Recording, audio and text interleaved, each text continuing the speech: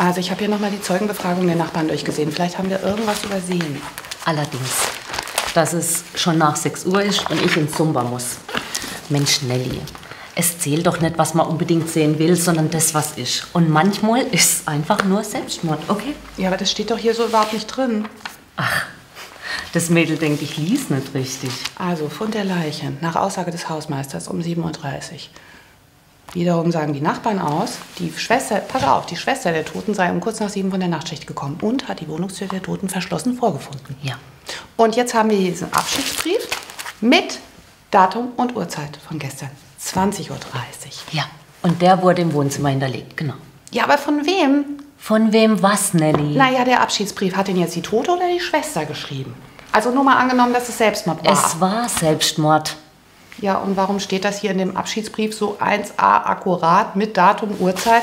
Schau, ich verabscheue mich, ich zittere am ganzen Leib, ich kann mich nicht mehr ertragen, nicht mehr klar denken und so weiter. Und dann so ein Schriftbild?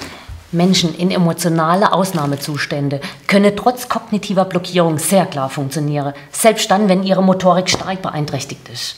Echt? Und mit der legen die so eine 1a Schönschrift hin? Keinen Scheiß? Zeig. Das hätte ein Lineal sein können, was sie hier drunter gelegt hat.